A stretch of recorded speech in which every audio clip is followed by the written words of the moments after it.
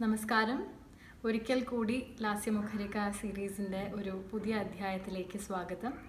ഇന്ന് നമ്മളോടൊപ്പം സംസാരിക്കാനായി എത്തിയിരിക്കുന്ന അതിഥി ഗുരു കലാമണ്ഡലം വിമല മേനോൻ. വിമല ടീച്ചർക്ക് നമസ്തേ. വളരെ സന്തോഷം ഞങ്ങളുടെ റിക്വസ്റ്റ് സ്വീകരിച്ച് നമ്മളോട് ടീച്ചറുടെ നിരവധി കൊല്ലം നീണ്ടു നിൽക്കുന്ന ഈ കലാജീവിതത്തെക്കുറിച്ചും പ്രത്യേകിച്ചും ടീച്ചറുടെ കലാമണ്ഡലത്തിലെ പഠനകാലത്തെക്കുറിച്ച് വളരെ വിശദമായി ഞങ്ങൾക്ക് രസകരമായി പറഞ്ഞു തരുന്നതിൽ ഒരുപാട് സന്തോഷമുണ്ട്. ഇന്നത്തെ ഈ ലാസ്യമുഖരിക്ക സീരീസ് വിമല ടീച്ചറുടെ സംവാദത്തോടു കൂടി നമുക്ക് തുടങ്ങാം.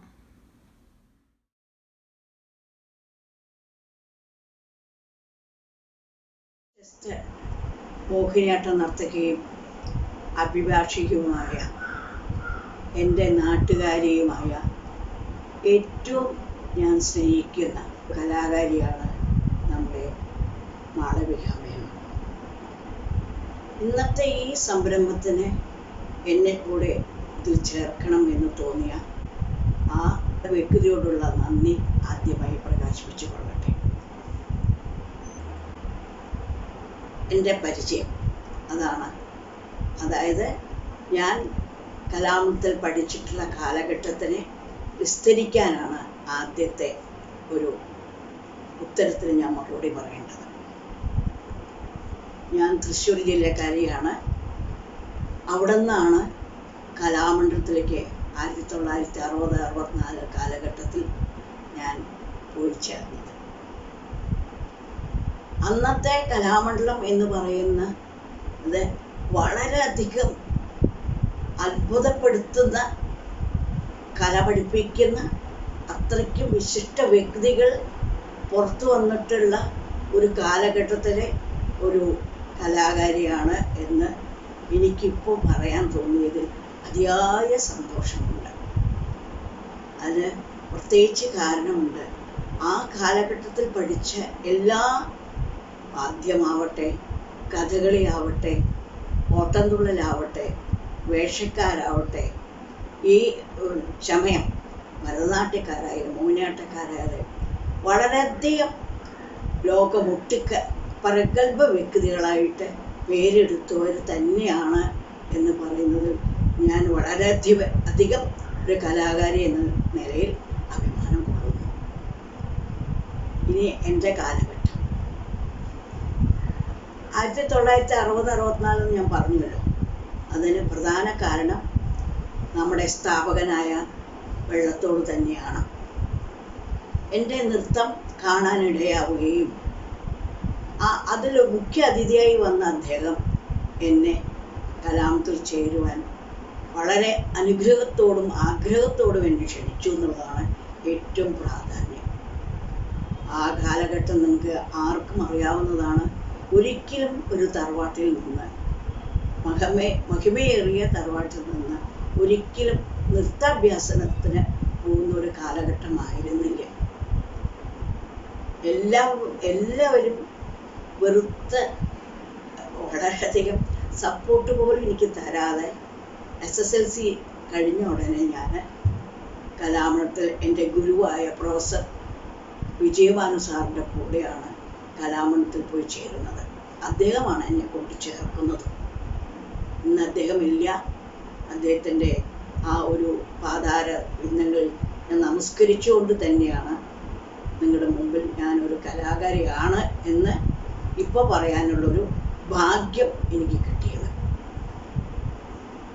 അന്ന് എന്ന് പറയുന്നത് സ്റ്റൈഫൻഡോട് കൂടി വെറും ഇരുപത്തഞ്ച് രൂപ സ്റ്റൈഫൻഡോട് കൂടി പഠിച്ചിട്ടുള്ള ഒട്ടനവധി കലാകാരന്മാരെ നമുക്ക് ഇന്നും കണ്ടുവരാൻ സാധിക്കും. ഞാൻ പത്താം ക്ലാസ് കഴിഞ്ഞ് പോയത് കൊണ്ട് ഒരു മൂത്ത ചേച്ചിയായിട്ടാണ് എല്ലാ വിദ്യാർത്ഥികളും വിദ്യാർത്ഥിനികളും എന്നെ അംഗീകരിച്ചത്. അതായത് കുറച്ച് അവരൊക്കെ പത്ത് പതിനൊന്ന് വയസ്സുകളിലാണല്ലോ ചെന്ന് ചേരുന്നത്. ഞാൻ പതിനഞ്ച് വയസ്സിന് ശേഷമാണ് പോയി ചേരുന്നത്. ഫീസ് കൊടുത്താണ് ഞാൻ അന്ന് കലാമത്തിൽ ചെയ്യുന്നത് അന്ന് വെറുതെ മോഹിനിയാട്ടത്തിനല്ലായിരുന്നു പ്രാധാന്യം. തുടക്കം തന്നെ ഈ എട്ട് ഏഴ് എട്ട് ക്ലാസ്സുകളിലേക്കാണല്ലോ ചേരുന്നത്. അന്ന് ആ കുട്ടികൾ എന്ന് പറയുമ്പോൾ വളരെ ചെറിയ കുട്ടികളാണ്. അവർക്ക് ഭരതനാട്യം അടവുകളാണ് ആദ്യമായിട്ട് തുടങ്ങുക. അത് രണ്ടു കൊല്ലത്തിന് ശേഷമാണ് മോഹിനിയാട്ടം നമുക്ക് പഠിക്കാൻ തുടങ്ങുക. അതിന് ശേഷമാണ് ഈ മോഹിനിയാട്ടം ചുവടുകൾ പറഞ്ഞു തരാൻ തുടങ്ങുന്നത്. ഇന്ന് തിരിച്ചാണ്. ഇന്ന് മോഹിനിയാട്ടം മെയിൻ സബ്ജക്റ്റും സബ് കുച്ചിപ്പുടിയും ഭരതനാട്യം ആക്കി. അന്ന് തിരിച്ചായിരുന്നു മാത്രം. പക്ഷെ അതുകൊണ്ട് നഷ്ടമൊന്നും ഉണ്ടായില്ല ഞങ്ങളെ പോലെയുള്ളവർക്ക് ഏഹ് അന്ന് ഒരു ഗുരുകുല വിദ്യാഭ്യാസമായിരുന്നു എന്റെ കാലഘട്ടത്തിൽ. ചുങ്കത്ത് റോഡിട്ട ഓടിട്ട കെട്ടിടത്ത് വലിയൊരു കെട്ടിടമാണ് അവിടെ തന്നെയായിരുന്നു കളരി. അവിടെ തന്നെയാണ് ഹോസ്റ്റൽ. അവിടെ തന്നെയാണ് ഞങ്ങളുടെ ഗുരുക്കന്മാർ ഞങ്ങളുടെ കൂടെ താമസിച്ചത്. വാ വാർദ്ധക്യ സഹജം ആന്ന് പറയാൻ പറ്റില്ല. വയസ്സായ മുത്തശ്ശിയായ ഞങ്ങളുടെയൊക്കെ പ്രിയങ്കരിയായ പഴയന്നൂർ ചിന്നുമമ്മ ടീച്ചർ അന്ന് മോഹിനിയാട്ടത്തിന്റെ വളരെ പ്രഗത്ഭ വ്യക്തിയായിട്ട് ലോകം മുഴുവൻ അറിഞ്ഞിരിക്കുന്ന കാലഘട്ടത്തിലാണ് ഞാൻ പോയി ചേരുന്നത്. ആ സമയത്ത് ടീച്ചറാണ് ഞങ്ങളുടെ വാർഡനായിട്ടിരുന്നത്. സത്യഭാമ ടീച്ചറേയും അന്ന് ഒരു പ്രസവ സമയമായതുകൊണ്ട് ഞങ്ങളുടെ ഹോസ്റ്റലിൽ നിൽക്കുകയും ഞങ്ങളെ ഒരു അമ്മ അമ്മയെ പോലെ ടീച്ചറും ചേച്ചിയെ പോലെയായിരുന്നു സത്യ ടീച്ചർ. അത്രയ്ക്ക് ഗുരുകുല വിദ്യാഭ്യാസം. അതായത് എങ്ങനെയാണ് ഒരു ഗുരുമുഖത്ത് നിന്ന് പഠിക്കുക. അല്ലെങ്കിൽ എങ്ങനെയാണ് നമ്മൾ വളരേണ്ടത്? എങ്ങനെയാണ് നമ്മൾ പഠിക്കേണ്ടത്? ഏത് തരത്തിലാണ് ഈ പാരമ്പര്യ കലകൾ നമ്മൾ മനസ്സിലാക്കേണ്ടത്? അത്രയ്ക്ക് വിശദീകരിച്ച് പറയുന്ന ഒരു കാലഘട്ടമായിരുന്നു അന്ന്.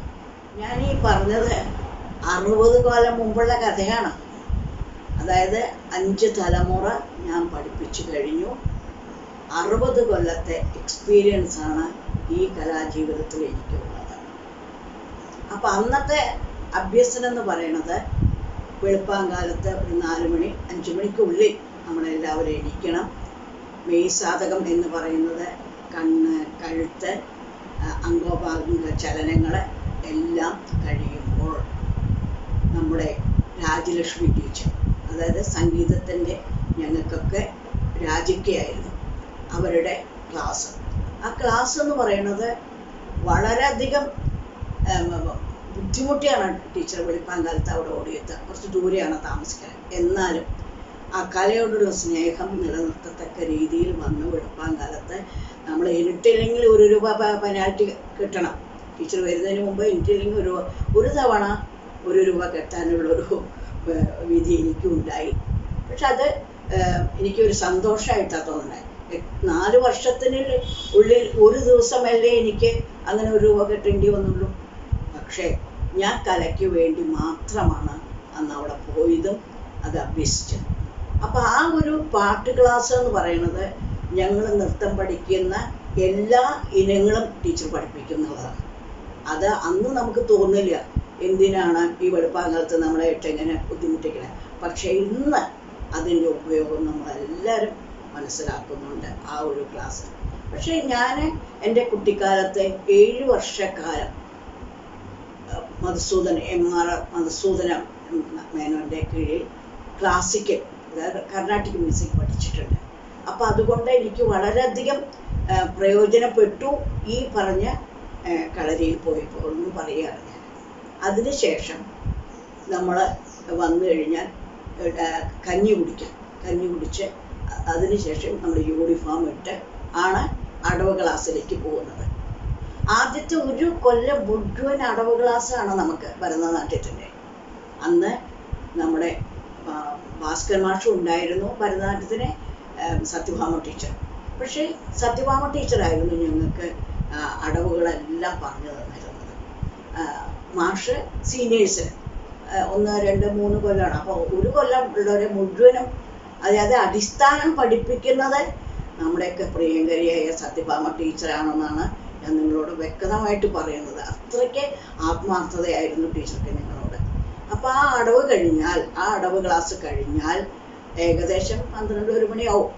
അപ്പോഴേക്കും നമ്മുടെ കയ്യോ കാലോ വേദനിക്കുന്നുണ്ടോ അതൊന്നും അവിടെ പ്രശ്നമേ അല്ല പഠിക്കുക നല്ല ശിക്ഷകളും കിട്ടും. അടി കിട്ടും. താന്ന് നൃത്തം അരമണത്തിൽ നിൽക്കാൻ പറയും. മുഴുവണത്തിൽ ഇരിക്കാൻ പറയും. അങ്ങനെ പല ശിക്ഷകളും ചെയ്ത് പഠിച്ചിരുന്ന ഒരു കാലമായിരുന്നു ഞങ്ങളുടെ അതിന്റെ ഗുണം തന്നെയാണ്.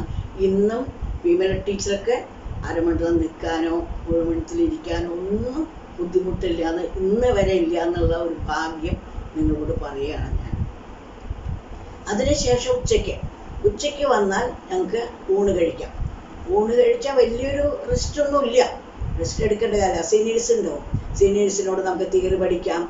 അവരുടെ ഇന്ന് പഴയ അവർ പഠിച്ചിട്ടുള്ള ഐറ്റംസ് നമുക്ക് പഠിക്കാം. നമുക്ക് സാമർഥ്യം ഉണ്ടെങ്കിൽ എല്ലാവരുടെ നിന്ന് പഠിക്കാം. അത് കഴിഞ്ഞാൽ വീണ്ടും സംഗീ മറ്റേ സാഹിത്യ ക്ലാസ്. സാഹിത്യം അല്ലെങ്കിൽ തിയറി. തിയറി എടുത്തിരുന്നത് നമ്മുടെയൊക്കെ പ്രിയങ്കരന സൂപ്രണ്ട് വാസുദേവൻ നമ്പൂരിപ്പാടാണ് സാഹിത്യ മാഷ എന്ന് പറയുന്ന ഒരു നമ്പൂരി മാഷായിരുന്നു ഞങ്ങൾക്ക് സാഹിത്യം പറഞ്ഞു തരുന്നത്. അത് വേറെ ഒന്നുമല്ല നമ്മൾ ഈ പഠിച്ച ഐറ്റംസിന്റെ സാഹിത്യത്തിന്റെ അർത്ഥങ്ങൾ പറഞ്ഞു തരിക പിന്നെ പുരാണ കഥകൾ പറഞ്ഞു തരിക. തിയറി എന്ന് പറയുന്നത് മുഴുവനും നമ്മുടെ ഭാസ്കർ മാഷ് കൂടാണ്ട് അല്ലെങ്കിൽ സത്രീച്ചർ കൂടാതെ ഈ നമ്പൂരി മാഷ് സൂപ്പറിന്റെ ഞങ്ങളുടെ സൂപ്പറിന്റെ പറഞ്ഞു തരിക അത് വളരെ കടുകട്ടിയാണ്. ഒരുപാട് തിയറി എന്ന് പറഞ്ഞാൽ നിങ്ങൾക്ക് അറിയാലോ. കണ്ണിന്റെ ചലനങ്ങൾ അത് എത്ര വിധം കഴുത്ത് ചുണ്ട് മൂക്ക് കാലിന്റെ പാദങ്ങൾ കൈമുദ്രകൾ അങ്ങനെ നീണ്ടു നീണ്ടു പോവും. അതൊക്കെ പറഞ്ഞു കഴിഞ്ഞാൽ ഇന്ന് അവസാനിക്കില്ല. അത്രയ്ക്കാണ് നമുക്ക് തിയറി പഠിക്കാനുള്ളത്. പക്ഷെ ഇതൊന്നും ഒരു പ്രശ്നമായിട്ട് നമുക്ക് തോന്നിയില്ല. വീണ്ടും വൈകുന്നേരത്തെ ക്ലാസ് വീണ്ടും അപ്പോഴാണ് നമുക്ക് ചിലപ്പോൾ ഈ പറഞ്ഞ ഒരു കൊല്ലം കഴിയാറാവുമ്പോൾ നമുക്ക് അലാരിപ്പിന്റെ തുടക്കമോ ഈ പറഞ്ഞ ജിതിസ്വരമോ എന്തെങ്കിലുമൊക്കെ നമ്മൾ പഠിക്കാൻ തുടങ്ങണത്. ഈ ഒരു കൊല്ലം കഴിയുമ്പോഴേക്കും നമുക്ക് അലാരിപ്പിന്റെ തീരുമാനവും ആ പറയുന്ന അലാരിപ്പും പഠിക്കാം. തിസ്രജാതി അതായത് രൂപകതാളത്തിലുള്ളത് പഠിക്കാം ഇതിപ്പോൾ എന്ത് പഠിക്കുകയാണെങ്കിലും താളമിട്ട് പഠിക്കണം നട്ടുവാങ്കം ചെയ്തിരിക്കണം. നമ്മൾ പാടിയിരിക്കണം നമ്മൾ മറ്റുള്ളവരെ കൊട്ടി ചെയ്യിപ്പിക്കണം. അത് ഒരു ഭയങ്കര എക്സ്പീരിയൻസ് ആയിരുന്നു ഞങ്ങൾക്കത്. അതുകൊണ്ടാണ് ഇന്നും നമുക്ക് ക്ലാസ് എടുക്കാൻ സാധിക്കുന്നത് രണ്ടാം കൊല്ലം നമുക്ക് ജതിസ്വരം ശബ്ദമൊക്കെ നമുക്ക് പഠിപ്പിക്കാൻ തുടങ്ങും. പക്ഷെ ഇതിനിടയിൽ നമുക്ക് ഈ വെക്കേഷനോ അല്ലെങ്കിൽ ഓണ ലീവിലോ ശനി ഞായറോ ഒക്കെ നമുക്ക് ഈ സീനിയേഴ്സിൽ നിന്ന് ഞങ്ങൾ സാമർഥ്യമുള്ള കുട്ടികളെ പല പദങ്ങൾ പഠിക്കും. അല്ലെങ്കിൽ നമ്മൾ മോഹിനിയാട്ടത്തിന്റെ ചൊല്ലുകളോ ചോ ചവിട്ടുകളോ ഒക്കെ പഠിച്ചുകൊണ്ടിരിക്കും. വെറുതെ ഒന്നും ഇരിക്കാൻ സമ്മതിക്കില്ല. അത് കഴിഞ്ഞാൽ ഉച്ച ക്ലാസ് കഴിഞ്ഞാൽ ഉടനെ അതായത് വൈകുന്നേരത്തെ ക്ലാസ് കഴിഞ്ഞാൽ ഭാരതപ്പുഴയിലാണ് ഞങ്ങൾ കുളിക്കുക. പക്ഷെ അന്നൊന്നും നമുക്ക് ഈ പറയുന്ന ഇന്നത്തെ കുട്ടികൾ പറയുന്ന പോലെ ഭാരതപ്പുഴ നീന്താൻ അറിയുന്നവർക്ക് നീന്താം. ഞങ്ങളുടെ ടീച്ചറാണ് പോവുക അപ്പോൾ ടീച്ചറുടെ കൂടെ പോകുമ്പോൾ ഒരു ചെറിയ ഈ അടുത്ത രണ്ട് കടകൾ രണ്ട് വശത്തൊക്കെ ഉണ്ടല്ലോ. അപ്പോൾ ഒരു തമാശയ്ക്കൊക്കെ എല്ലാവരും വിളിക്കും. ബാലിബാബയും നാൽപ്പത് കള്ളന്മാരുമാണ് വരണത് എന്ന്. അതായത് ടീച്ചർ മുമ്പിൽ ഞങ്ങളിങ്ങനെ പുറകിൽ പല സീനിയേഴ്സ് ആണെങ്കിൽ ഏറ്റവും ബാക്കിൽ ജൂനിയേഴ്സിനെ മുമ്പോട്ട് കൊണ്ടു അത് അവിടെ ചെന്ന ഭാരതപ്പുഴയിൽ കുളിക്കും. ആ കുളി വളരെ സുഖമായിരിക്കും. അതായത് നമ്മൾ ഇത്രയും വിയർത്തൊലിച്ച് നനഞ്ഞതായിട്ടുള്ള ആൾക്കാർക്ക് ആ ഭാരതപ്പുഴയിൽ മുങ്ങുന്ന ഒരു ആ ഒരു ശക്തി ആ ശരീരത്തിന് കിട്ടുന്ന ഒരു ശക്തി. നമ്മുടെ സകല രോഗങ്ങളും അല്ലെങ്കിൽ വേദനകളും അങ്ങനെ വെള്ളത്തിൽ കൂടി ഒലിച്ചു പോകണ നമുക്ക് തോന്നും. അങ്ങനെ ആണ് ആ രണ്ട്. രണ്ടാം കൊല്ലം അവസാനമായപ്പോൾ അരങ്ങേറ്റം നടത്തി. അതാണ് അവിടുത്തെ ചിട്ട അന്നത്തെ കാലത്തെ ചിട്ട. അപ്പൊ അന്ന് നമ്മൾ ചെയ്യുമ്പോൾ അലാരിപ്പ സ്വരം ശബ്ദം.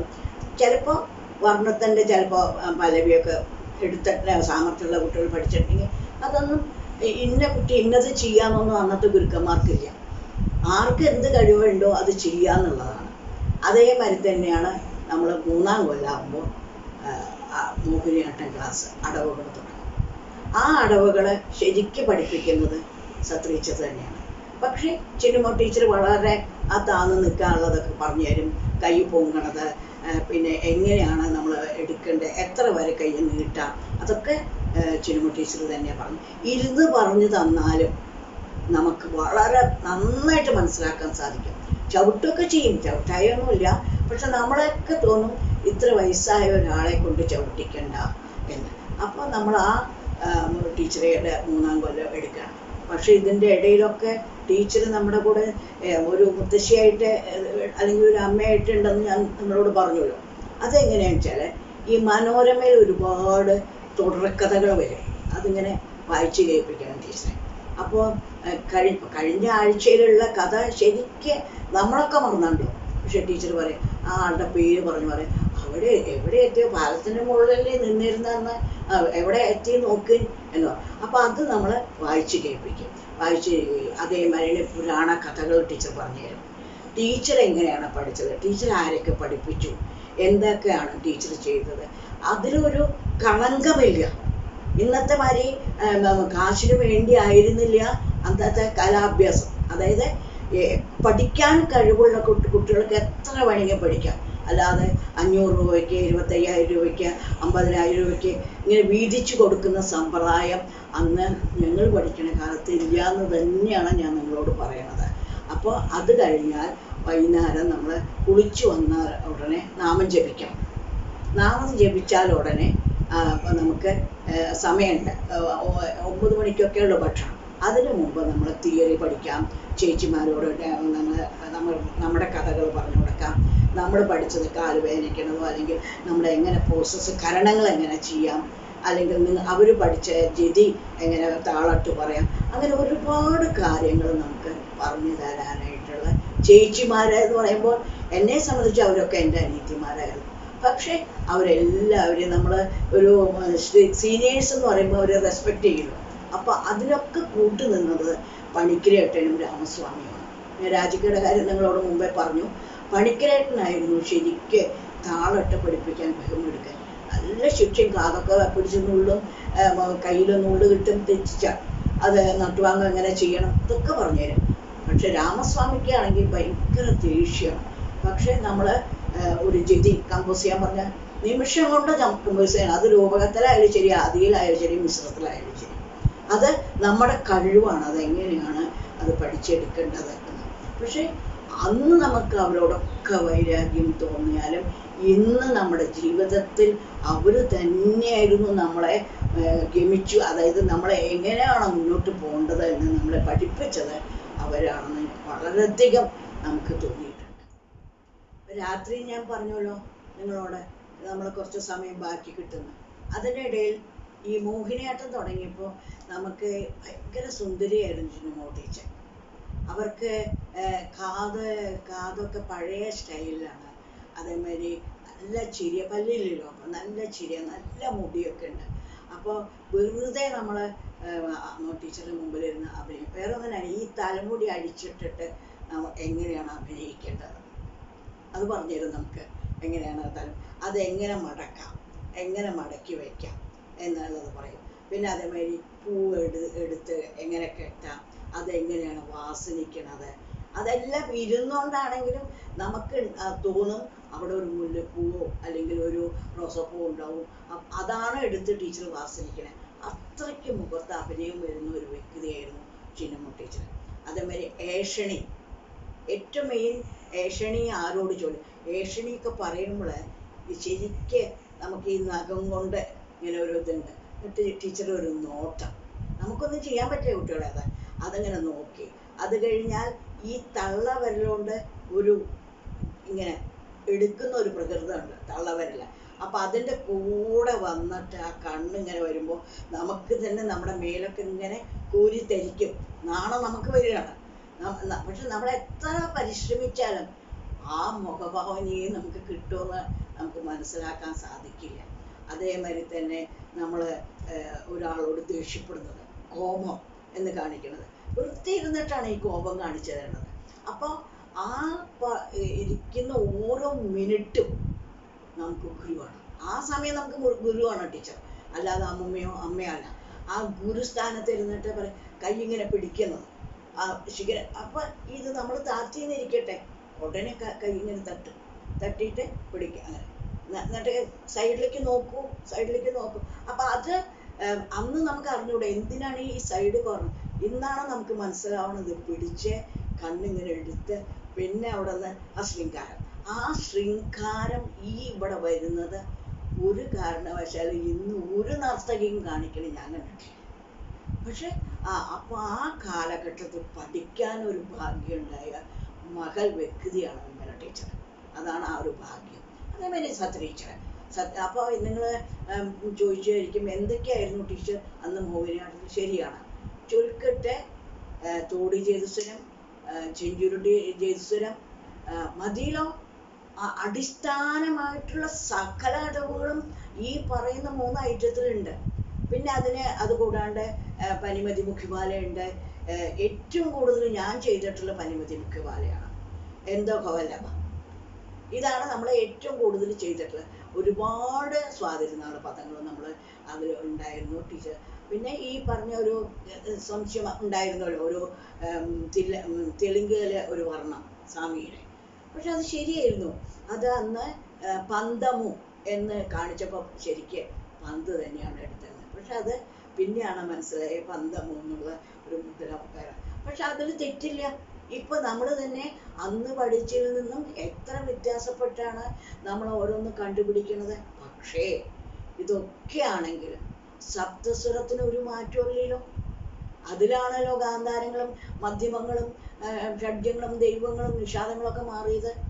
അപ്പൊ എന്ന പോലെ ഈ പറയുന്ന ചട്ടക്കൂടിന്റെ ഉള്ളിൽ നിന്നുകൊണ്ട് തന്നെ വേണം മോഹിനിയാട്ടന്റെ പുരോഗതി കണ്ടുപിടിക്കാൻ. അതാണ് ടീച്ചറെ അനുഭവം അങ്ങനെ മൂന്നാം കൊല്ലം മുതൽ ലഡാക്ക് മദ്രാസ് ഡൽഹി ബോംബെ തുടങ്ങിയ ഒട്ടനവധി ദിക്കിലെ പ്രോഗ്രാമിന് ടീച്ചർ പോയിട്ടുണ്ട്. അന്ന് എങ്ങനെയാണെന്ന് ചില ഒരു കാര്യം നിങ്ങൾക്ക് പറയാം? അന്ന് ഒരു ക്വസ്റ്റ്യൻ നിങ്ങൾ എപ്പോഴും റേസ് ചെയ്യുന്ന ഒരു കാര്യം. അന്ന് വളരെ കുറച്ച് കുട്ടികളെയാണ് പ്രോഗ്രാമിന് കൊണ്ടുപോകുന്നത് ഈ പ്രോഗ്രാം കൊണ്ടുവന്ന കുട്ടികൾ തന്നെയാണ് ഭരതനാട്യം ചെയ്യുന്നത്.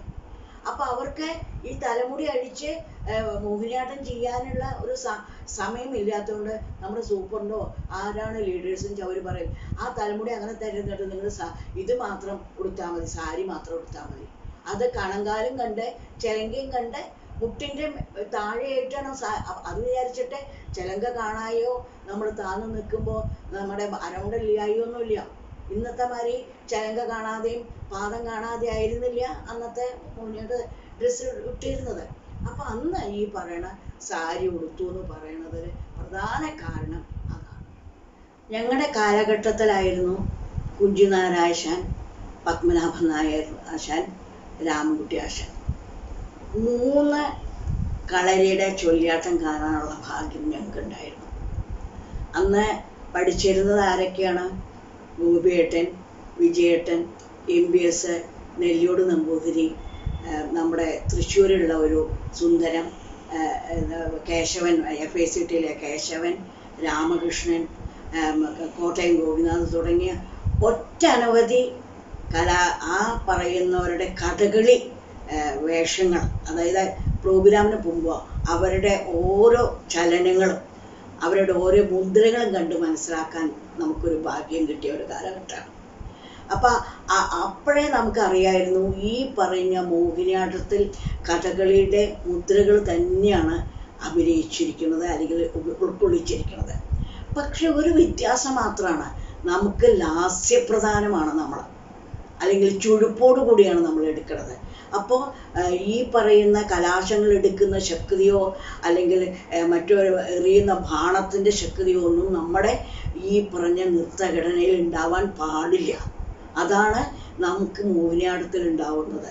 നമ്മൾ മോഹിനിയാട്ടത്തിൽ എടുക്കുന്ന കലാശം നമ്മുടെ കഥകളി സ്ത്രീവേഷത്തിൽ എടുക്കുന്ന അത്ര സ്ട്രോങ് ആയിട്ടോ അല്ലെങ്കിൽ കഥകളിക്കാരെടുക്കുന്ന രീതിയിലുള്ള ശക്തി കൊടുത്തോ ഒന്നും നമ്മൾ ചെയ്താൽ അത് മോഹിനിയാട്ടാവില്ല.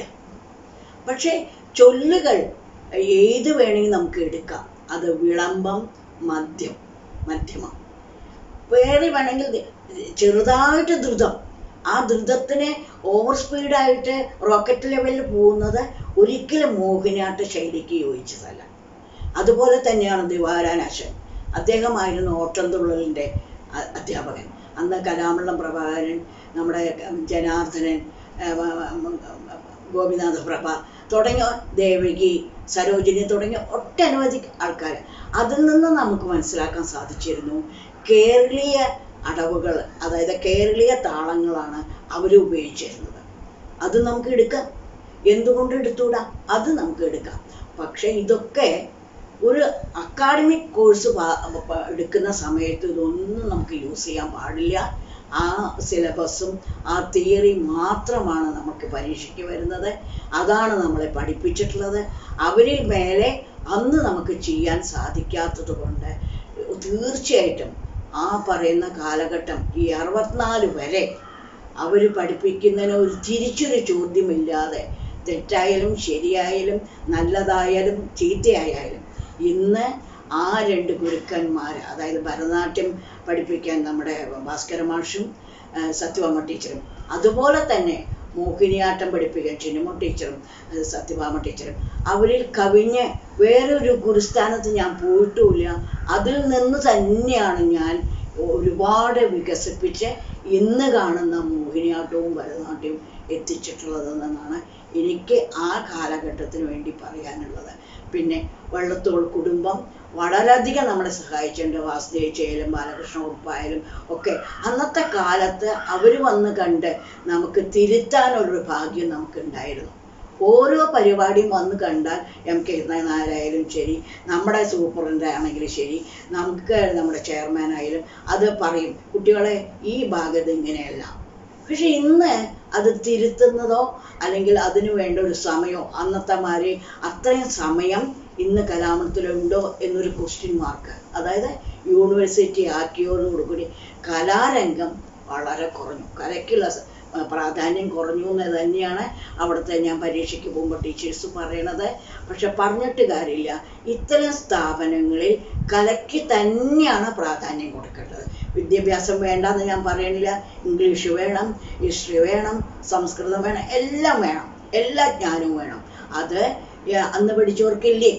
അന്ന് പഠിച്ചവർക്കുണ്ടല്ലോ? ഇല്ലായില്ലല്ലോ അവിടെ നിന്നാണല്ലോ കലാമണ്ഡലം കൃഷ്ണനായരൊക്കെ പുറത്തേക്ക് വന്നത്. അപ്പോൾ അവരൊക്കെ ആ അംഗീകാരം എന്ന് പറയുന്നത് കല കൊണ്ടാണ്. അത് തന്നെയാണ്. പിന്നെ ഈ പറഞ്ഞ അവാർഡുകൾ അവാർഡുകളൊന്നും നമ്മൾ അങ്ങോട്ട് റിക്വസ്റ്റ് ചെയ്തല്ല വാങ്ങേണ്ടത്. ഇന്ന് വരെ ഒരു റിക്വസ്റ്റും ടീച്ചർ കൊടുക്കാതെ തന്നെ എല്ലാ അവാർഡുകളും എനിക്ക് കിട്ടിയിട്ടുള്ളത്. ഇന്ന് അങ്ങനെയല്ല. നമ്മുടെ കഴിവ് നമ്മളാണ് കഴിവുള്ളവരെന്ന് പറഞ്ഞ് നമ്മൾ റിക്വസ്റ്റ് ചെയ്താലാണ് അവാർഡുകൾ കിട്ടുന്നത്. പ്രത്യേകിച്ച് കലാമണ്ഡലം പോലെയുള്ള സ്ഥാപനങ്ങൾ അങ്ങനെ ചെയ്യരുത്. ആ ഓരോ കലയ്ക്ക് വേണ്ടി ആരാണ് ചെയ്യണത്? അവരെയാണ് പ്രോത്സാഹിപ്പിക്കേണ്ടത്.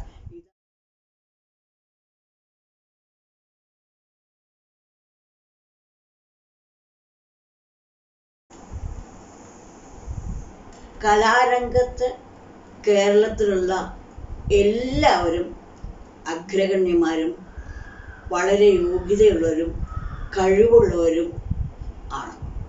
നമ്മുടെ കേരളത്തിലോണം കഴിവുള്ള ഒരു നർത്തകനോ നർത്തകിയോ ഇല്ലെന്ന് തന്നെയാണ് എന്റെ ഇതുവരെയുള്ള അനുഭവം തെളിയിച്ചിട്ടുള്ളത്. പക്ഷെ എന്താണ് വെല്ലുവിളി എന്ന് എനിക്ക് വ്യക്തമായിട്ട് പറയാൻ അറിഞ്ഞൂടാ പക്ഷേ ഇന്നത്തെ തലമുറ എന്ന് പറയുന്നത് അവർക്ക് ഒരു ഗുരുകുല വിദ്യാഭ്യാസം നേടണം എന്നൊരു തോന്നൽ നയന്റി പെർസെന്റും ഇല്ല എന്ന് തന്നെയാണ് എനിക്ക് തോന്നിയിട്ടുള്ളത്. അതിന് പ്രധാന കാരണം യൂട്യൂബും വീഡിയോസുമാണ് അത് ഒരു കാരണവശാൽ കണ്ടുപഠിക്കാം എന്നല്ലാതെ നമ്മുടെ തെറ്റുകൾ തിരുത്തുന്നെങ്കിൽ ഗുരുമുഖത്തുനിന്ന് തന്നെ അവർക്ക് അത് തിരുത്താൻ സാധിക്കുള്ളൂ. അതുകൊണ്ട് പാരമ്പര്യമായിട്ടുള്ള ശാസ്ത്രീയ നൃത്തങ്ങളാണ് അതിന്റെ അടിസ്ഥാനമായിട്ടുള്ള ഒരു ഗുരുകുല വിദ്യാഭ്യാസം. അത് ഗുരുമുഖത്തു തന്നെ നിങ്ങൾ പഠിച്ച് യുവകലാകാരന്മാർ വന്നാൽ പിന്നെ നിങ്ങളുടെ ഇഷ്ടത്തിന് നിങ്ങൾക്ക് എന്ത് വേണമെങ്കിൽ ചെയ്യാം. അതിന്റെ അടിസ്ഥാനം വിടില്ല. പക്ഷേ പരിഷ്കാരങ്ങളാവാം.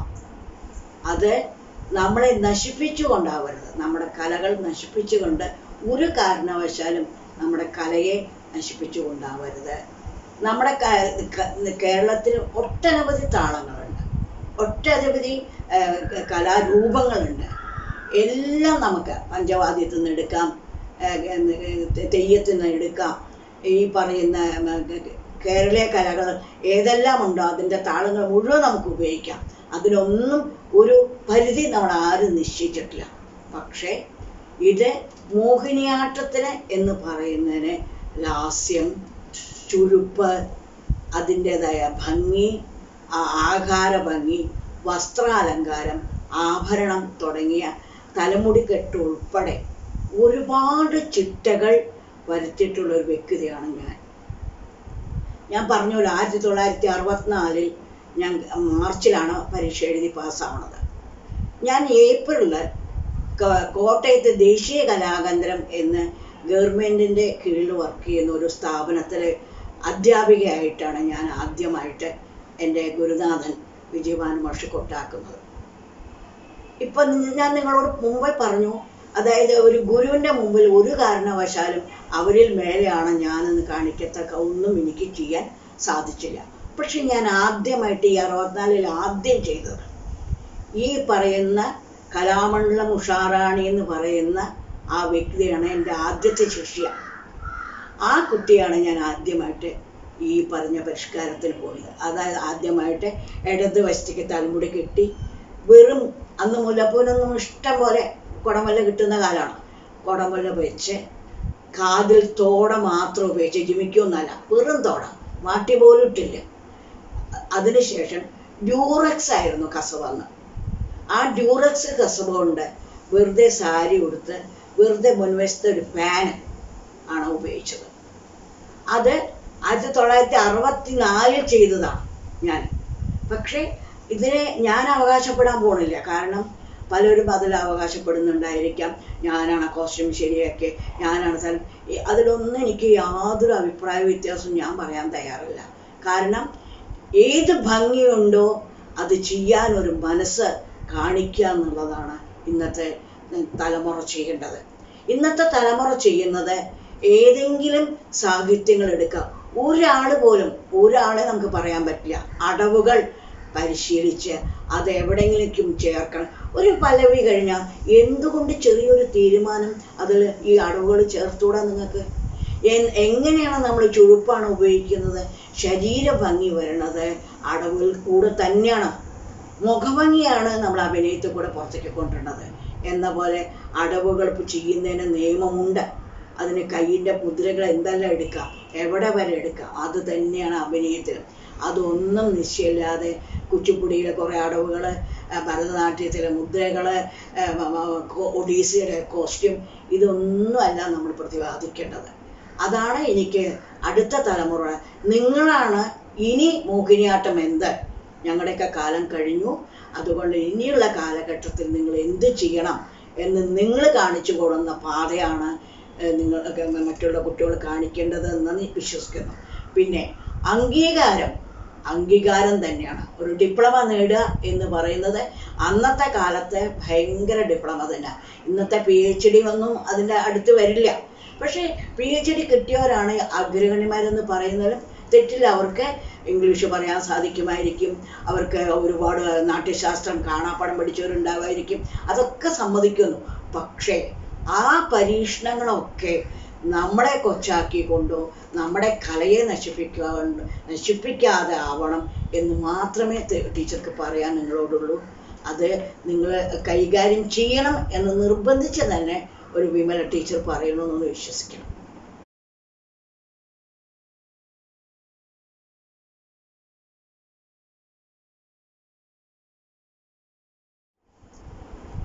അതായത് അറുപത് കൊല്ലകാലത്തെ ഒരു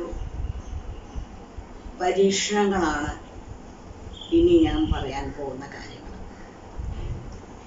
അറുപത്തി നാലിൽ നാല് അറുപത്തഞ്ച് ദേശീയ കലാഗ്രഹം അറുപത്തഞ്ച് പകുതിയിൽ ടു അറുപത്താറ് വരെ നെയ്വേലി ലിബറേറ്റ് കോർപ്പറേഷനിലായിരുന്നു ഭരതനാട്യ ഇൻസ്ട്രക്ടറായിട്ട് നിന്നത് അറുപത്താറിൽ ഭൂട്ടാനിലേക്ക് പോയി. ഭൂട്ടാൻ രാജാവിന്റെ മുമ്പിൽ നമ്മൾ ഈ പറയുന്ന ഭരതനാട്യം മോഹിനിയാട്ടമൊക്കെ ചെയ്തു എങ്കിലും അവരൊക്കെ വളരെ അത്ഭുതമായിട്ടാണ് ഈ പറഞ്ഞ കലാരംഗങ്ങളൊക്കെ കണ്ടത്. പക്ഷെ ആ ഒരു രാജ്യത്തെ നമ്മുടെ കല എത്രത്തോളം മുന്നോട്ട് കൊണ്ടുപോകാൻ പറ്റും എന്നെനിക്ക് സംശയം തോന്നി. അങ്ങനെ ഞാൻ അറുപത്തി ഒമ്പതിൽ തിരിച്ചു പോന്നു. അറുപത്തൊമ്പതിൽ തിരിച്ചു വന്ന ഉടനെ നമ്മുടെ ബാലഭം ജവഹർ ബാലഭവനിലെ നോട്ടിഫിക്കേഷൻ കണ്ടു. ഭരതനാട്യ ഇൻസ്ട്രക്ടറെ എടുക്കുന്നു. അങ്ങനെ ഞാൻ അറുപത് അറുപത്തൊമ്പതിൽ ഇന്റർവ്യൂ അറ്റൻഡ് ചെയ്തു. എഴുപതിൽ ഞാൻ ജവഹർ ബാലഭവനിലെ ഭരതനാട്യം മെയിൻ ഇൻസ്ട്രക്ടറായിട്ട് ജോയിൻ ചെയ്തു. തിരുവനന്തപുരം എന്ന് പറയുന്ന വലിയൊരു ലോകമാണ്. കല കലയ്ക്ക് വേണ്ടി ഒട്ടനവധി കലാകാരന്മാരെ വാർത്തെടുത്തൊരു രാജ്യം. രാജ്യം തന്നെ പറയണം. അതായത് ഒരു കേരളത്തിന്റെ അറിയപ്പെടുന്ന ഒരു സ്ഥലം തന്നെയാണ് ആ പറയുന്നത്. അദ്ദേഹം പത്മനാഭൻ കിടന്ന പോലെ അദ്ദേഹം എങ്ങനെ മൂന്ന് വാതിലിന്റെ ഉള്ളിൽ ചുരുങ്ങി കിടന്നോ അതുപോലെ തന്നെയാണ് ഓരോ കലാകാരനെയും കലാകാരിയെയും ഒരു കാരണവശാൽ അദ്ദേഹം തിരുവനന്തപുരത്ത് വന്ന് ഒരു ഒരാളെ പോലും തിരിച്ചയക്കില്ല. അത്രയ്ക്ക് ഐശ്വര്യമുള്ളൊരു സ്ഥലത്താണ് ഞാൻ വന്നു പെട്ടത്. ബാലഭവൻ എന്ന് പറയുന്നത് വളരെയധികം ലയൻസ് ക്ലബ്ബ് നടത്തുന്നതാണ്. വളരെ പ്രഗത്ഭ വ്യക്തികളുടെ കുട്ടികൾ. അതായത് ഒരു ക്ലാസ്സിൽ അമ്പത് പേരെയൊക്കെയാണ് ഓരോ ക്ലാസ്സിൽ എടുക്കാൻ സാധിക്കുക. പക്ഷേ ഒരു മടുപ്പ് തോന്നിയിരുന്നില്ല. പ്രത്യേകിച്ച് പെട്ടെന്നായിരുന്നു ഈ പറയുന്ന ഒരു ഗുരു ആവാനുള്ള ഒരു ഭാഗ്യം. അതായത് ഇത്രയും കുട്ടികൾ മറ്റേ ദിക്കിലൊക്കെ വളരെ കുറച്ച് പേരെ നമ്മുടെ കല മുന്നോട്ട് പോകണം ഇവിടെ എനിക്ക് തോന്നി തീർച്ചയായിട്ടും എന്റെ കല മുന്നോട്ട് കൊണ്ടുവരാൻ സാധിക്കും എന്നുള്ളത്. അതുമാത്രമല്ല വളരെ പ്രഗത്ഭ വ്യക്തികൾ കുട്ടികൾ നമ്മൾ പറഞ്ഞു കൊടുക്കുന്നത് എങ്ങനെ ഗ്രാസ്പ് ചെയ്യണം. അത്രയ്ക്ക് മനോഹരമായിട്ടുള്ള കുട്ടികളെയും കിട്ടി.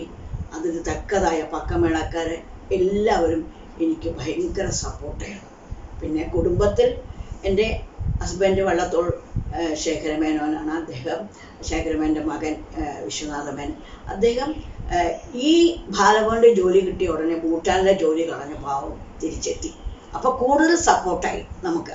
അതായത് നമുക്ക് വീട്ടിൽ വന്നാൽ നമുക്ക് സംരക്ഷിക്കാനും നമ്മുടെ കാര്യങ്ങൾ എന്റെ കുട്ടികളുടെ കാര്യങ്ങൾ നോക്കാൻ അന്ന് വിനോദ് എന്ന് പറയുന്ന ഒരു മകനെ ഉണ്ടായിരുന്നുള്ളൂ. എഴുപത്തഞ്ചിന് ശേഷം ആണ് എനിക്ക് ബിന്ദുജ ഉണ്ടാവുന്നത്. അത് നമ്മുടെ ചിനിമ ടീച്ചർക്ക് വയ്യാണ്ടായി.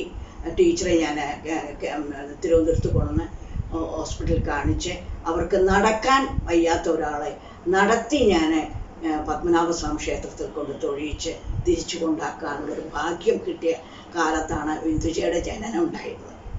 അപ്പം ആ ഒരു അനുഗ്രഹമായിരിക്കും ബിന്ദുജ ഇന്ന് മോഹിനിയാട്ട നർത്തകി എന്ന പേരുള്ള ഒരു വ്യക്തിയായിട്ട് കേരളത്തിൽ അറിയപ്പെടുന്നത് ഞാൻ വിശ്വസിക്കുന്നു. ടീച്ചറുടെ അനുഗ്രഹവും എന്റെ അനുഗ്രഹം പിന്നെ ഒരു അമ്മ എന്നുള്ള ലെവലിൽ എന്നും ഉണ്ടല്ലോ പക്ഷേ ടീ അതേമാതിരി തന്നെ സത്യഭാമ ടീച്ചർ എന്റെ രണ്ടായിരത്തി നാലിൽ എനിക്ക് ഒരു അവാർഡ് കിട്ടി.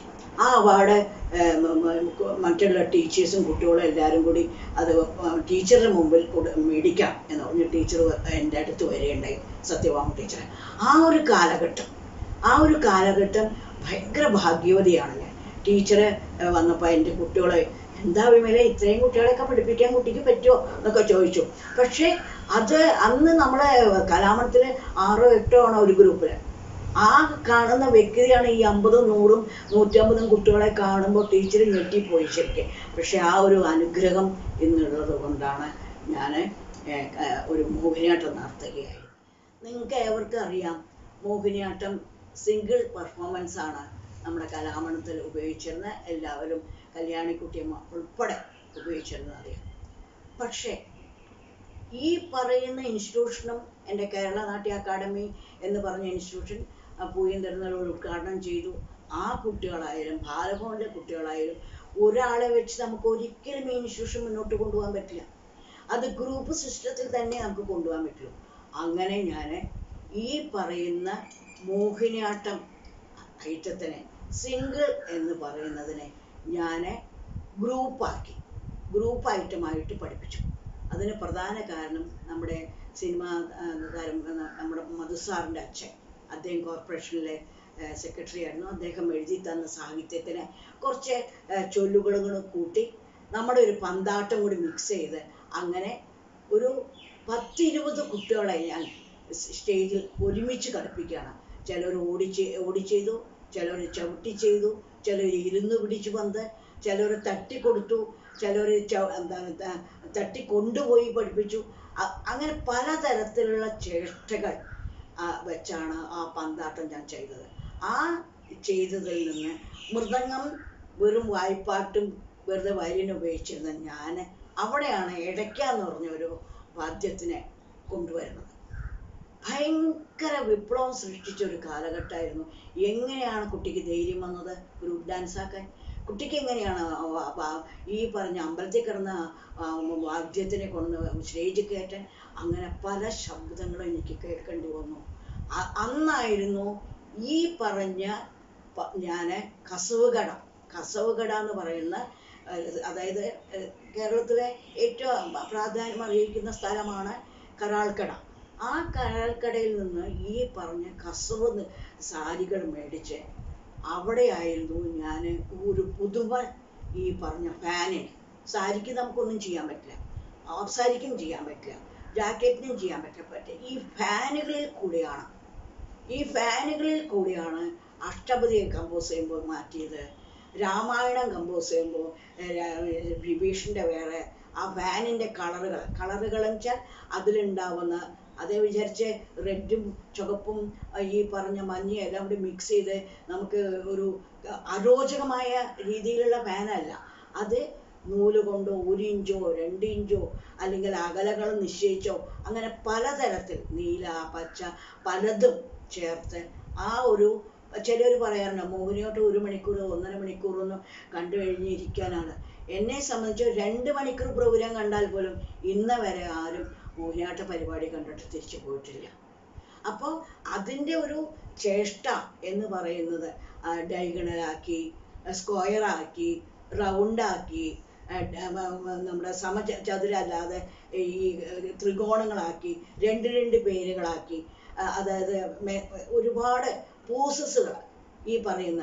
അന്നായിരുന്നു പത്മനാഭനെ ഞാൻ ഞാൻ മൂന്ന് വാതിലായിട്ട് നിശ്ചയിച്ച് ഒരു ഭാഗം നമ്മളെ തല കാണുന്നു ഒരു ഭാഗം നടു കാണുന്നു ഒരു ഭാഗത്ത് കാൽ കാണുന്നു. ഈ പറയുന്ന തലയിൽ തന്നെ ശിവന്റെ ലിംഗത്തിൽ കൈവച്ചതും മൂക്ക് നേരെ പിടിക്കുന്നതും നടുവിൽ കാണുന്ന പൊക്കിളി കൂടെ നമ്മുടെ ഈ പറയുന്ന താമര തണ്ടിൽ കയറി ബ്രഹ്മാവ് മുകളിലിരിക്കുന്നതും ഈ പറയുന്ന കാൽ ലക്ഷ്മി തടവുന്നതും അത് കണ്ടുകൊണ്ടിരിക്കുന്ന മുനിശ്രേഷ്ഠന്മാര് മഹാലക്ഷ്മി നമ്മുടെ കാൽ ഒഴിയുന്ന അങ്ങനെ ഒട്ടനവധി വ്യക്തികളെ കോർത്തിണക്കിക്കൊണ്ട് പോസുകൾ ഉണ്ടാക്കാൻ സഹായിച്ചു. അനന്തൻ അനന്തൻ അഞ്ചു ആവാം ഏഴ് തലയാവാം എന്നൊക്കെ ഞാൻ ഞാനായിട്ട് സൃഷ്ടിക്കാം. ക്രിറ്റിസൈസിങ് ഉണ്ടാവും അവിരോധമല്ല.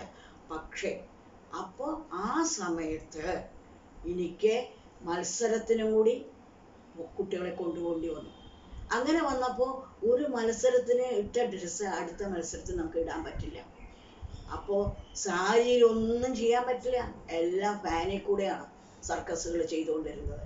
അതിന്റെ ഒരു സെറ്റ് അത് ആ ഡ്രസ്സ് വെച്ച് ചെയ്തിട്ടുള്ളത് നമ്മുടെ കാലടി യൂണിവേഴ്സിറ്റിയിലെ ഹെഡ് ഓഫ് ദി ഡിപ്പാർട്ട്മെന്റ് വേണുവിന്റെ കയ്യിൽ കാണും. എന്താണ് വിമല ടീച്ചർ ഡ്രസ്സിൽ ചെയ്തിട്ടുള്ള കാര്യങ്ങൾ? പക്ഷേ എല്ലാവർക്കും അറിയണമെന്നില്ല. ഞാനത് പരസ്യപ്പെടുത്താൻ കാരണം ഈ ഡ്രസ്സ് ചെയ്യുന്നതും തുന്നുന്നതും കോസ്റ്റ്യൂം സെലക്ട് ചെയ്യണതൊക്കെ വിമല ടീച്ചറാണ് അതുകൊണ്ട് പുറത്തേക്ക് പോകില്ല എന്റെ കോസ്റ്റ്യൂം അത് തന്നെ ആവർത്തന വിരസ വിരസത വരരുതല്ലോ. നമ്മൾ പരിപാടികൾ നടത്തുമ്പോൾ എല്ലാം സാധിരുന്നാണല്ലോ പാട്ടില്ല അപ്പം എന്തായി? ഇനിയും ബന്ധം വീടെടുത്തു ഇനിയും ബന്ധം ദീക്ഷിത കൃതികൾ എടുത്തിട്ടുണ്ടാവും. നമ്മൾ തഞ്ചാവൂർ സൗത്ത് സോൺ ഉദ്ഘാടനത്തിന് രാജീവ് ഗാന്ധി ആയിരുന്നു അവിടെ ഉണ്ടായിരുന്നത്. അപ്പം എന്ത് ചെയ്തു? അവിടെ നമ്മുടെ മോഹിനിയാട്ടത്തിന്റെ ഒറിജിനൽ കുറച്ച് എടുത്തിട്ട് അതിന്റെ കുറച്ച് കുറച്ച് തമിഴ് ഒരു ശ്ലോകം മിക്സ് ചെയ്തു.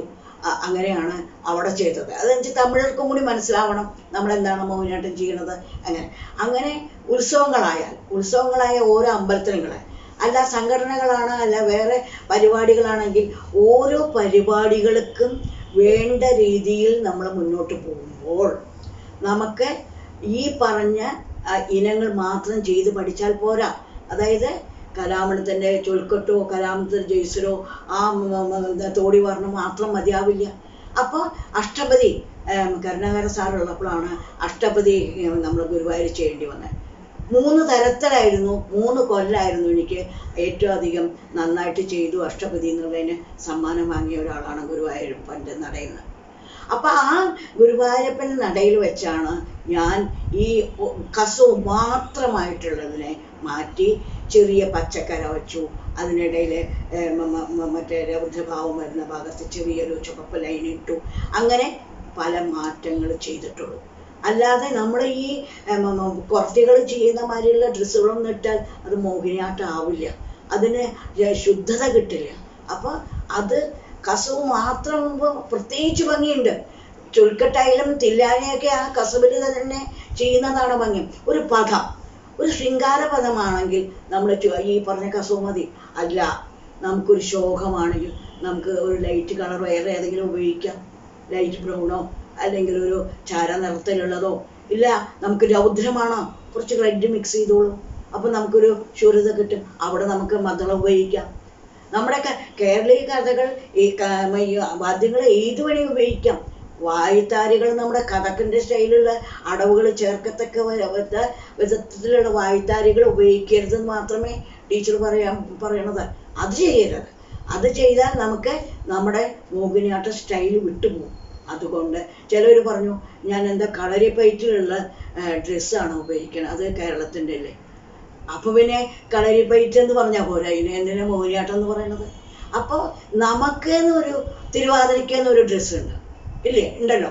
എന്ന പോലെ നമ്മുടെ ഉണ്ണിയാർച്ച ചെയ്യുന്നു നമ്മുടെ പാരീസിലെ തമ്പരാട്ടിമാര് മുലക്കച്ച കെട്ടി ചെയ്യുന്നു പക്ഷേ ഏ ആരെ നമ്മൾ അംഗീകരിക്കുകയാണെങ്കിലും നമ്മുടെ ആ അതിർത്തി വിട്ട് പോകരുത് ഇപ്പൊ ഈ പറഞ്ഞ മാതിരി നമ്മുടെ അറുപത് പേരെ ഉൾക്കൊള്ളിച്ചുകൊണ്ട് പത്മനാഭസ്വാമി ക്ഷേത്രത്തിൽ നമ്മുടെ അറുപത് വർഷം കേരളത്തിന്റെ അറുപത് വർഷം ഞാൻ ഒരു മോഹിനിയാട നൃത്തം ബേസ് പത്മനാഭന്റെ തിരുന്ന് ആ റൂട്ടിൽ അതായത് അവിടെ വേലകളി മാത്രമേ ചെയ്തിട്ടുള്ളൂ. ആദ്യമായിട്ടാണ് മോഹിനിയാട്ടം ചെയ്യുന്നത് ആ അറുപത് നർത്തകികൾ അറുപത് സാഹിത്യകാരന്മാരുടെ ആയിരുന്നു എടുത്തത്. അതായത് ഉള്ളൂരുണ്ട് കുമാരനാശാനുണ്ട് വെള്ളത്തോളുണ്ട് സുഗതകുമാരി ചേച്ചിയുണ്ട് ശ്രീകുമാരൻ തമ്പി നമ്മുടെ ഈ പറയുന്ന ഏഴാഞ്ചേ ഏഴശ്ശേരിയുടെ ഉണ്ട് പുതുശ്ശേരി രാമചന്ദ്രനുണ്ട്.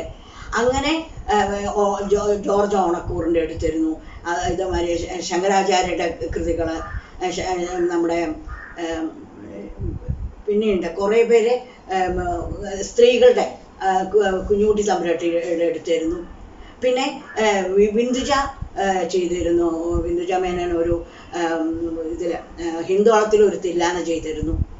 അത് അതേമാതിരി ഇതിൽ ധനശ്രീയിൽ ധനശ്രീ അല്ല മറ്റേ ശുദ്ധധന്യാസിയിലോ ആണ് അത് മോഹിനിയാട്ടം ജതിസ്വരം ചെയ്തു. അതിന്റെ ഒരു കഷ്ണം ഇതിലിട്ടു. അപ്പോൾ ഈ പറയുന്ന ഇന്നത്തെ തലമുറകൾ പോലും അതിനു വേണ്ടി ചെയ്യുന്നു എന്ന് നമുക്ക് അറിയാവുന്ന രീതിയിൽ എല്ലാ കലാകാരന്മാരെയും ഒരാളെ നമ്മൾ ഒഴിവാക്കിയിട്ടില്ല. ഒരു ഒരാളെ നമ്മൾ ഒഴിവാക്കാണ്ട് ഒരുപാട് ആൾക്കാരുടെ സാഹിത്യങ്ങൾ ഉപയോഗിക്കുന്നുണ്ട്. അതേപോലെ പന്ത്രണ്ട് മുഖങ്ങളുള്ള ഗണപതി. അതിൽ ആദ്യത്തെ പദം എടുത്താണ് ഞാൻ സംഗീത നാട അക്കാദമിക്ക് വേണ്ടി ചെയ്തത്. അതേമാതിരി സംഗീത നാട അക്കാദമി ത്രിപുരയിൽ വെച്ച് എന്നോട് പറഞ്ഞു ടീച്ചർ ഒരുപാട് അഷ്ട ദൈവങ്ങളുടെ ഏതെങ്കിലും ഒരു ഇത് കൊടുക്കും. അപ്പം ആ അഷ്ടദൈവങ്ങളെ ഉൾക്കൊള്ളിച്ചുകൊണ്ടുള്ള ശ്ലോകങ്ങൾ എടുത്ത് അതാണ് അവിടെ അവതരിപ്പിച്ചത്. അല്ലാതെ ഇത് നമ്മൾ പരിഷ്കരിക്കാൻ പരിഷ്കാരം നമുക്ക് വേണമെന്ന് പറഞ്ഞുകൊണ്ട് നമ്മുടെ നിലകളെ വിട്ട് ഒന്നും ചെയ്യരുത്. ഇതേമാതിരി എന്റെ ലാസ്യമോഹിനി എന്നൊരു മോഹിനിയാട്ട ബുക്ക് അതായത് പഠിച്ചു തുടങ്ങുന്നവർക്കുള്ള ഒരു ഒരു ബുക്കായിട്ടാണ് ഞാൻ അത് എഴുതിയിട്ടുള്ളത്. ആ, സമയത്ത് ഞാൻ നൂറ്റമ്പത് കുട്ടികളെ മോഹിനിയാട്ടം നമ്മുടെ ഭാവയാമി രഘുരാമം ആണ് ഞാൻ അവതരിപ്പിച്ചത്. അതായത് ഞാൻ പഠിപ്പിച്ചു തുടങ്ങിയ കാലഘട്ടം മുതൽ ഈ അറുപത്തിനാലിൽ തുടങ്ങിയ ഉഷാറാണി ഉൾപ്പെടെ ഈ പറഞ്ഞ ഞാൻ ലാസ്യമോഹൻ എഴുതുന്നവരെ പല അന്യ നാട്ടിൽ കിടക്കുന്ന സകല ശിഷ്യരെയും ഉൾക്കൊള്ളിച്ചുകൊണ്ട് നമ്മുടെ മുഖ്യമന്ത്രി ഉമ്മൻചാണ്ടി സാറ് ഉള്ള കാലഘട്ടത്തിൽ ഉദ്ഘാടനം ചെയ്തതാണ് ലാസ്യമോദൻ അപ്പൊ അവിടെയും ചെയ്തത് ഈ രാമായണമാണ്. രാമായണത്തിലെ അപ്പൊ ഞാൻ തബല ഉപയോഗിച്ചു. വേറൊന്നുമല്ല ഈ പറയുന്ന ഹനുമാന്റെയും അവരുടെ സേതുബന്ധന സമയം തബലയാണ് ഞാൻ ഉപയോഗിച്ചത്. മിഴാവ് എടുത്തു. അതിൽ തബ നമ്മുടെ മദ്ദളം ഉപയോഗിച്ചിരുന്നു. മൃദംഗം മാത്രമല്ല. പക്ഷേ ഇതേത് ഉപയോഗിച്ചാലും നമ്മുടെ ശബ്ദകോലാഹലം കൊണ്ട് ഒരാൾക്ക് ഒരു വിരസത തോന്നുകയാണെങ്കിൽ അത് മോഹിനിയാട്ടമായിട്ട് ആ ഒന്നര മണിക്കൂർ സമയമാണ് ആ പറഞ്ഞ രാമായണം. ഭാവയാമരേഖ രാമം എല്ലാവർക്കും അറിയുന്നതാണ് സ്വാതിരങ്ങളുടെ കൃതിയാണെന്ന് അറിയാലോ അത് രാഗമാലികയാണ്. അപ്പോൾ അതായത് കുട്ടിക്കാലം മുതൽ അതായത് ചെറിയ സീത കല്യാണം കഴിഞ്ഞ സീത രാമ മറ്റേ വനത്തിൽ പോകുന്ന സീതയുടെ ഭാഗം. അപ്പോൾ അതൊക്കെ ഈ മോഹിനിയാട്ടത്തിൽ എങ്ങനെയാണ് ടീ കോസ്റ്റ്യൂം ഞാൻ ചെയ്തതെന്ന് അത് കാണുന്നവർക്കേ മനസ്സിലാവുള്ളൂ. അത് വിചാരിച്ച് ഒരാൾക്ക് സംശയം തോന്നിയിട്ടില്ല. ടീച്ചർ ഇത് മോഹിനിയാട്ടം വിട്ടാണ് കളിച്ചതെന്നൊന്നും ആർക്കും തോന്നിയിട്ടില്ല. പക്ഷേ രാവണന്റെ ഭാഗം വന്നപ്പോൾ വിഭീഷന്റെ ഭാഗം വന്നപ്പോൾ അല്ലെങ്കിൽ മണ്ടോദേരി എങ്ങനെയാണ് അപ്പൊ അവിടെ എന്ത് ചെയ്തു? അങ്ങനെ ഓരോ ഭാഗങ്ങളും വളരെ വ്യക്തമായിട്ട് അതിലെ കോസ്റ്റ്യൂമുകൾ തന്നെയാണ് ഓരോ വ്യക്തികളെ നമ്മൾ മനസ്സിലാക്കി അവരുടെ ചലനങ്ങൾക്കനുസരിച്ച് മൃദംഗത്തെ മൃദംഗം ഈ പറഞ്ഞ വീണ വയലിൻ ഫ്ലൂട്ട് പക്ഷെ ഇപ്പോൾ അരോചകമാണ് നമ്മളെ മോഹിനിയാട്ടം എന്ന് പറയുമ്പോൾ ശബ്ദ കോലാഹലങ്ങൾ കൊണ്ട് അതിനെ നിബിഡമാക്കി സാഹിത്യം കേൾക്കണ്ട. അഭിനയത്തിന് പ്രാധാന്യം ഒരു ശോഭ അഭിനയിക്കുമ്പോൾ എന്തിനാണ് പക്കമേളം ശബ്ദിക്കുന്നത്? എന്താ ആവശ്യം അതാണ് ആ ടീച്ചർക്ക് പറയാനുള്ളത്. പിന്നെ ഈ പറയുന്ന ഏത് സബ്ജക്റ്റ് എടുത്താലും അതിപ്പോൾ തെയ്യമാണെങ്കിലും അല്ലെങ്കിൽ ഒരു ഈ പറയുന്ന മയിൽപ്പീലി തൂക്കമാണെങ്കിലും ശരി നമ്മുടെ എന്നായാലും ശരി ഓട്ടത്തുള്ളലിന്റെ കളരിയിൽ നിന്ന് എടുക്കുന്നതാണെങ്കിലും കഥകളി പദങ്ങൾ എടുക്കുകയാണെങ്കിലും ഏത് എടുത്താലും അതിന് ഒരു ചിട്ടയും ആരും നിർദ്ദേശിച്ചിട്ടുണ്ടാവില്ല. കാരണം ഇത് പതിഞ്ഞ പദങ്ങൾക്ക് യോജിച്ച രീതിയിൽ ഏത് നമ്മൾ ചെയ്യുന്നു. അല്ലെങ്കിൽ ആന്ന് അതേമാതിരി ഈ പറയുന്ന ഭരതനാട്യം പോലെ ഒരു സാഹിത്യം ഒരു പ്രാവശ്യം പാടി മുദ്ര പിടിക്കുകയല്ല. നാലോ അഞ്ചോ പ്രാവശ്യം പാടുമ്പോഴാണ് ഈ മുദ്ര സാഹിത്യത്തിനോട് യോജിച്ച് അവസാനിപ്പിക്കേണ്ടത്. അല്ലാതെ നമ്മൾ ഉദ്ദേശിക്കുന്ന മാതിരി കേൾക്കുന്നത് കേൾക്കുന്ന മുദ്രകൾ പിടിക്കുകയല്ല. പലപ്പോഴും ഞാൻ കണ്ടിട്ടുണ്ട്. വളരെ നമുക്ക് വിരസത തോന്നും അത് കാണുമ്പോൾ. നമ്മളിങ്ങനെ ആലോചിക്കുകയാണ് അലശത പരിതാപം എന്ന് പറയുമ്പോഴേക്കും എല്ലാം കഴിഞ്ഞു. അതെല്ലാം കഴിഞ്ഞു. പരിതാപവും എല്ലാം. എങ്ങനെയാണ് അങ്ങനെ മുദ്രാഭിനയിക്കുന്നത് ഇത് നമ്മൾ തുടങ്ങണത് തന്നെ ഒരു പർവതം. പർവതത്തിന്റെ രൂപം കാണുമ്പോൾ ആ പർവതം കാണിക്കുന്നത് അതിന്റെ രൂപം അതിന്റെ അകൽച്ച അതിന്റെ പൊക്കം എന്തെല്ലാമാണ് നമ്മൾ ഉപയോഗിക്കേണ്ടത് അത് കണ്ടിട്ടാണ് നമ്മൾ അവസാനിപ്പിക്കേണ്ട പർവതം എവിടെ നിൽക്കുന്നു എന്ന്. അപ്പോൾ അത്രയും സമയം നമ്മൾ ചെയ്യണമെങ്കിൽ അത്രയും പ്രാവശ്യം ആ പാട്ടുകാരൻ പാടിയിരിക്കണം.